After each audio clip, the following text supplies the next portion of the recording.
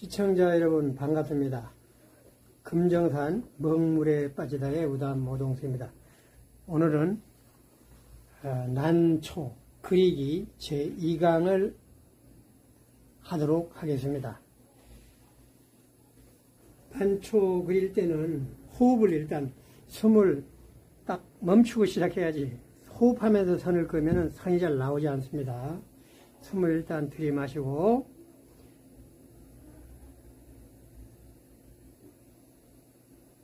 일필 기수.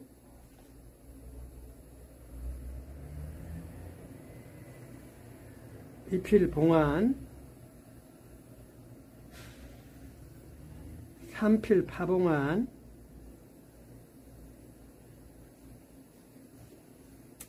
사필 상목. 이렇게 그려주게 됐습니다. 여기 일필이죠. 일필기수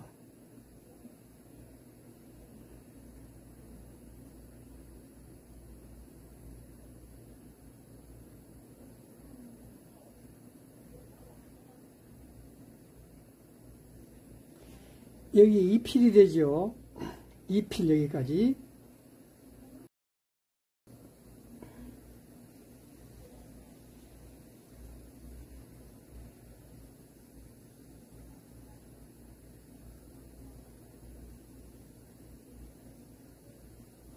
이필 봉안입니다. 이필 봉안이고 3필은 파봉안.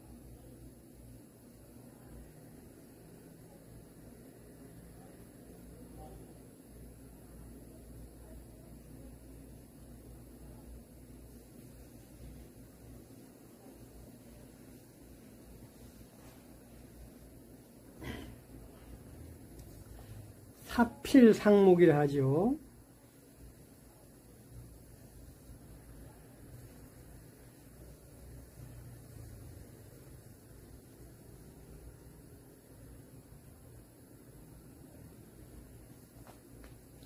처음 요 부분은 여기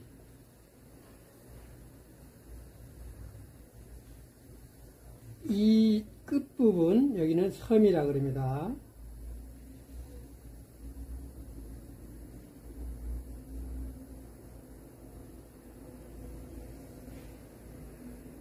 미,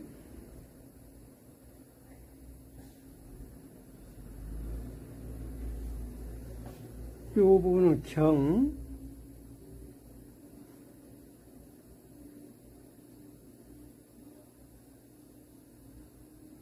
요거는 앞,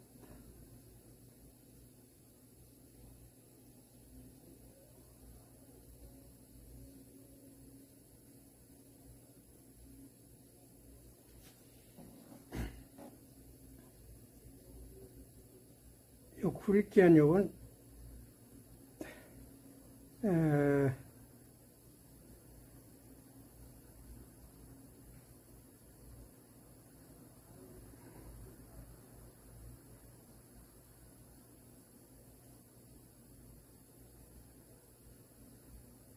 당랑복이라 이러죠. 사마귀 배에 튀어나온 것처럼 한다.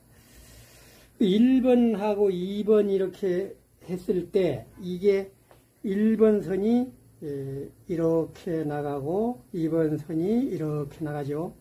요 사이가 그러니까 여기가 봉안이 눈과 같다 해서 이렇게 찍으면 눈과 같죠. 이렇게. 그래서 봉안이라 하고요. 3번은 파봉안이 되죠.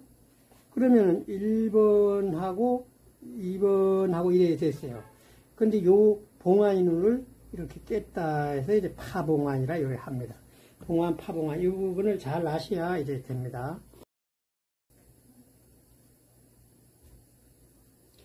그리고 어, 1필을 갖다가 기수라 하고 2필을 아, 봉안이라 그러는 거죠.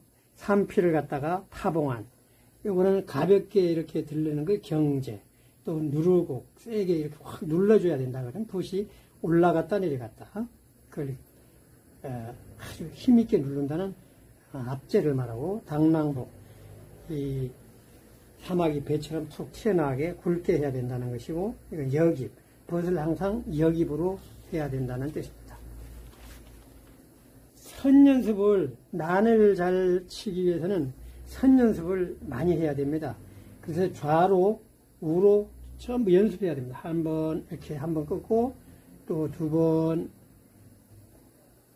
세번 이렇게 봉안을 만들면서 파봉안 하면서 이렇게 많이 해 봐야 됩니다. 이렇게 상목하고 또 이렇게 해서 이렇게 끊기도 하고요. 또 반대 방향으로도 하나, 둘, 셋, 넷, 다섯, 이렇게 선 연습을 많이 이렇게 해야 이 난이 좋아집니다. 그래서 이 좌우 난을, 좌란 우란을 이렇게 많이 그려봐야 됩니다. 이렇게 많이 그리면서 이 남은 공간에는 원을 그리면서 이렇게 자꾸 선 연습할 때 도움되도록 여러 차례를 그려줘 봐야 됩니다. 이렇게 또 그리고 또 반대 방향으로도 또 그려야 됩니다. 반대 방향으로 붓을 이렇게 틀어가지고 항상 아, 반대를 할 줄 알아야 돼요.